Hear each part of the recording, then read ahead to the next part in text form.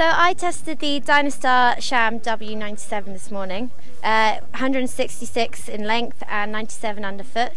I absolutely loved the ski. It was really adaptable and playful and fun, bouncy in the powder, uh, turns easily, and um, it was really good in all snow conditions. So as soon as we got on some chalky snow or some rough terrain, it grips really well and um, and it just really adaptable. All round ski, I just, yeah, it was brilliant. I can't really uh, complain about anything. A little bit more expensive than some of the other ones at £510 without the binding, but I think you um, you get your money's worth. So uh, yeah, I would really recommend this Dynastar ski as a girls free ride ski. And obviously it's also really good looking.